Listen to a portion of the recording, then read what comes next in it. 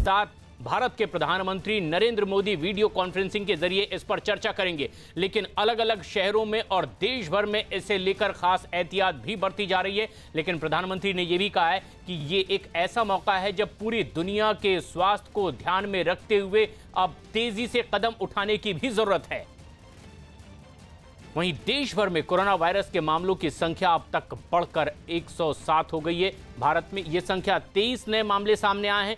और इसके बाद सरकार ने मामले की गंभीरता को देखते हुए सभी भारतीयों के लिए पहले टेस्ट और दूसरा अब कंफर्मेटिव टेस्ट भी मुफ़्त कर दिया है। स्वास्थ्य विभाग के विशेष सचिव संजीव कुमार ने बताया है कि ईरान से लाए गए 236 भारतीयों में कोई भी केस कोरोना पॉजिटिव नहीं है और जबकि जापान और वुहान से निकाले गए सभी लोग निगेटिव पाए गए लिहाजा उन्हें डिस्चार्ज भी कर दिया गया है। मिलान, इटली मिलान, इटली से एयर इंडिया की फ़्लाइट आज सुबह दिल्ली पहुँची है। इसमें लाए गए सभी 218 यात्रियों को आईटीबीपी कैंप छावला में ले जाया गया है। प्रोटोकॉल के अनुसार उन्हें क्वारंटाइन में रखा गया है। इसके अतिरिक्त ईरान से निकाले गए 236 व्यक्तियों का तीसरा बैच आज भारत पहुँचा है और उन्हें जैसलमेर में स्थित आर्मी के सुविधा केंद्र में, क्वारंटाइन में रखा जा रहा है। ईरान से, प्रस्थान से पहले भी इनकी जाँच की गई थी। फ़िलहाल किसी में भी रोग के लक्षण नहीं हैं।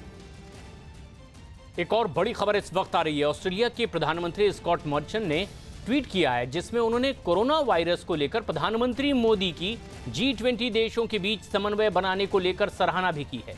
उन्होंने ट्वीट से किया और इस बात का भी पता चलता है उनके ट्वीट से कि प्रधानमंत्री मोदी ने कोरोना वायरस को लेकर जी ट्वेंटी देशों से भी सहयोग की साथ ही साथ अपील की है।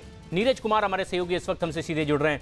नीरज, आखिर ऐसे में जबकि प्रधानमंत्री मोदी अब से कुछ ही देर बाद सात देशों के साथ वीडियो कॉन्फ्रेंसिंग के ज़रिए बातचीत भी करने वाले हैं। बेहद गंभीर मुद्दा है ये, जबकि कोरोना वायरस पूरी दुनिया में अब दहशत पैदा कर रहा है। लेकिन मॉरिशस के प्रधानमंत्री ने अगर माफ़ कीजिए ऑस्ट्रेलिया के प्रधानमंत्री ने यह बात कही है कि प्रधानमंत्री एक बेहद अहम कदम उठा रहे हैं। कैसे दुनिया भर में इससे लेकर मैसेज जाएगा?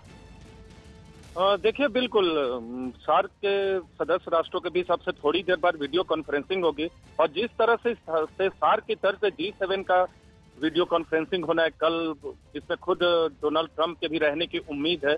लेकिन जी ट्वेंटी के भी जिस तरह से ऑस्ट्रेलिया के राष्ट्र प्रमुख का ट्वीट आया है, उससे एक तो बात अब तय हो गई है कि जिस तरह से कोरोना वायरस से प्रधानमंत्री नरेंद्र मोदी ने सार्क के सदस्य राष्ट्रों को वीडियो कॉन्फ्रेंसिंग के ज़रिए एक मंच पे लाने की पहल की है, वो कहीं ना कहीं बाकी सभी राष्ट्रों के लिए भी एक प्रेरणा का स्रोत है और इसीलिए जी सेवन और अब जी ट्वेंटी की तरफ़ से इस तरह की बातें की जा रही है कि कोरोना वायरस से निपटने के लिए जी ट्वेंटी के देश भी एक साथ है। देखना होगा कि ये जो पहल की गई है और आज जो नतीजा निकलता है प्रशांत, सबसे महत्वपूर्ण बात है कि सार्क के देशों के बीच बातचीत का जो नतीजा निकलता है उससे बहुत कुछ आगे की रणनीति निर्भर करेगी खासकर दक्षिण एशिया में। और जी ट्वेंटी के बीच इस तरह का कुछ कोई पहल होती है तो उसमें। और कल जी सेवन की बैठक इस तरह से वीडियो कॉन्फ्रेंसिंग के ज़रिए बहुत ही महत्वपूर्ण होगी क्योंकि डब्ल्यू एच ओ यानी विश्व स्वास्थ्य संगठन तो ऑस्ट्रेलिया के प्रधानमंत्री के इस ट्वीट से माना जा सकता है कि भारत से एक बड़ी उम्मीद लगाए हुए दुनिया सामने रख के